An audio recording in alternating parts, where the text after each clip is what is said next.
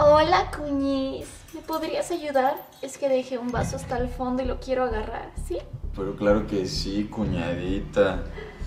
Ay, ven, agárrame de la cintura para que no me caiga, ¿eh? Agárrame. Bien, ¿eh? Fuerte, ¿eh? Hola, traje la comida. Oye, no hagas eso, me vas a matar de un susto. Ay, amor, no seas tan exagerado. ¿Y tú? ¿Qué haces aquí? ¿No deberías estar en la universidad? Salí temprano. Ah, qué bueno para que me ayudes a hacer comer. ¿Y yo por qué? ¿Por qué no haces nada? Así que órale. Bueno, pero te vas a esperar a que me bañe, ¿eh?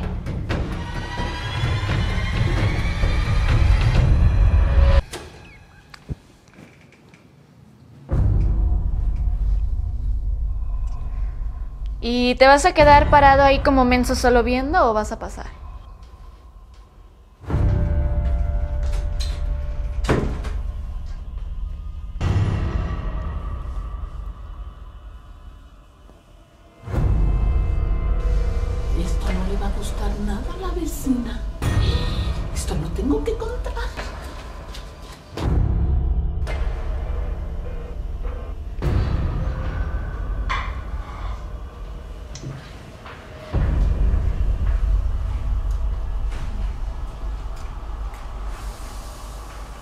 Oye, Rox, eh, ¿cómo te fue en el examen para la beca? ¿La conseguiste?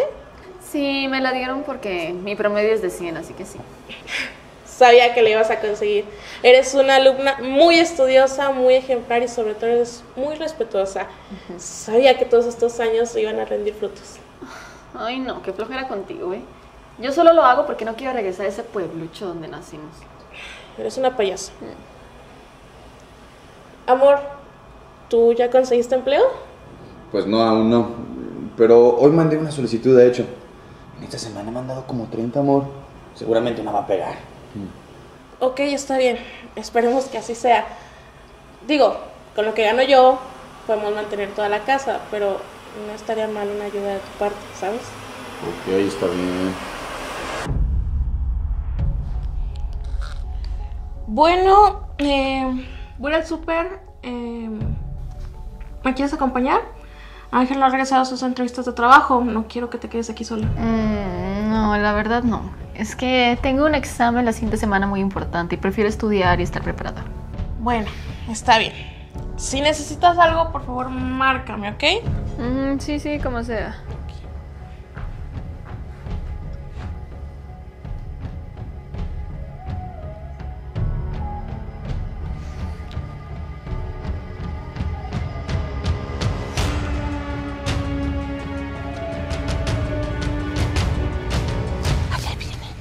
Hola, vecina. ¿Y qué tal la familia? Mm, bien, gracias. Oiga, ¿y eso qué me está hablando? Digo, usted se la pasa hablando mal de todo el mundo. Pues mire, vecina, la gente cambia. Y más con usted. El otro día es que oí que hay ruidos por su casa. Y me asomé. Y vi a su marido. A beso y beso con su hermana. A ver, vieja mentirosa. Usted no le ande levantando ni falsos ni a mi hermana ni a mi esposo, vieja metiche. Vieja tonta. Pues usted sabrá. ¿Dónde está Francisca? ¿Qué te Ay, tranquilo, era solo una broma. ¿Qué una broma, Roxana? No juegues con eso. ¿Qué vas a hacer el día que de verdad nos cachen? Preocuparte. Deberías relajarte y aprovechar este momento que estamos solos tú y yo. ¿Y cómo... qué tienes en mente? No lo sé, tú dime.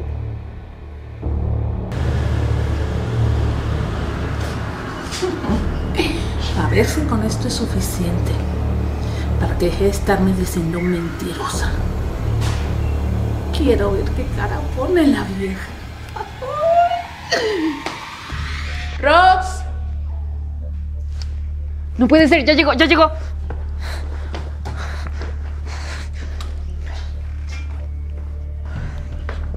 hola. ¿Qué haces aquí?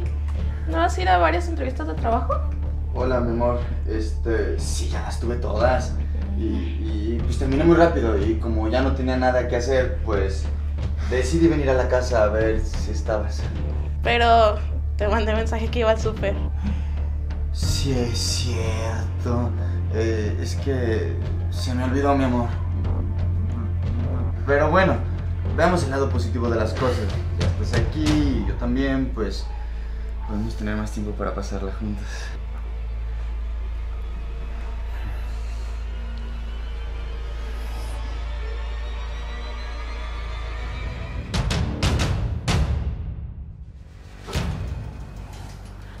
Hola vecina, ¿cómo está? Fíjese que yo le quería preguntar algo de lo que usted me dijo ayer. Pues qué bueno que la veo vecina, porque casualmente yo estaba caminando por ahí y que veo algo en su casa, mire, hasta lo quise grabar. ¿eh? Fíjese, para que no ande diciendo que soy una mentirosa. Seré chismosa, pero mentirosa. Chile aguado me las va a pagar. Vecina, si quiere le puedo ayudar, ¿eh? Porque cuando yo descubrí a mi marido, y era la buena que le hice. Ay, vecina. Pero este chismecito lo voy a ir a platicar.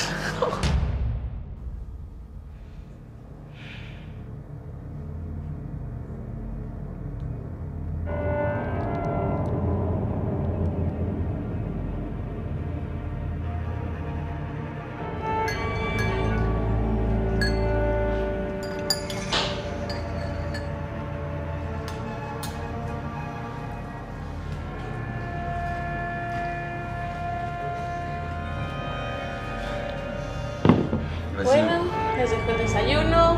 Voy a hacer unos pendientes al centro. No creo tardarme mucho, pero tampoco me esperan a comer, ¿ok? Gracias, mi amor, con cuidado.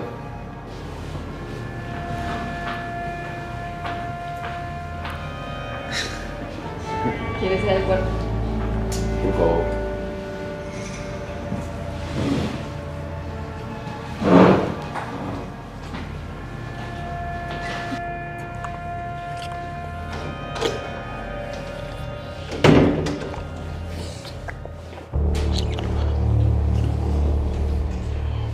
Oye, ¿tienes sueño?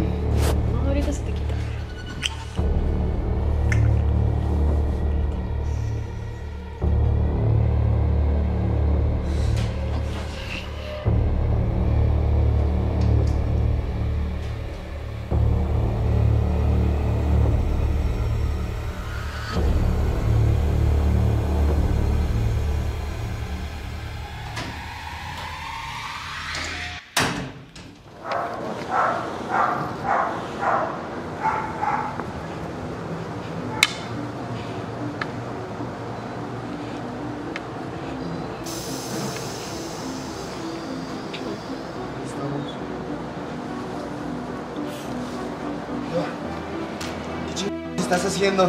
Tú ya sabes que no sé nadar. Francisca, ¿qué estás haciendo? Disfrutas mucho meterte en las relaciones ajenas, ¿verdad, hermanita? No, no, no sé de qué me hablas. Ay, por favor, no se quieran hacer los inocentes, porque tonta no estoy. Amor, te juro que yo no tuve nada que ver. Ella fue la que se me estuvo insinuando todo el tiempo. Eres un maldito cerdo. Tú te la pasabas espiándome para sonsacarme. A ver, a ver. Dejen de hacerse las víctimas porque tú, Ángel, eres un cerdo mentiroso. No puedo creer que te hayas acostado con mi propia hermana. Después de todo lo que hice por ti, porque nunca nos faltara nada, mientras tú te estás rascando la panza pensando a ver a qué hora estás a besuquear con mi hermana.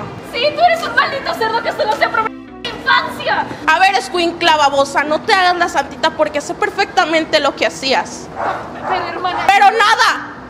Si quieren salvarse de ahogarse, Ángel me tiene que aceptar el divorcio sin pedir nada a cambio. Todo lo que está a su nombre va a ser mío.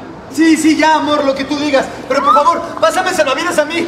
Y tú, Roxana, le voy a hablar a mi tía Chona que te vas de regreso al pueblo. Porque si quieres seguir viviendo con tus lujitos, te los vas a tener que pagar con el sudor de tu frente.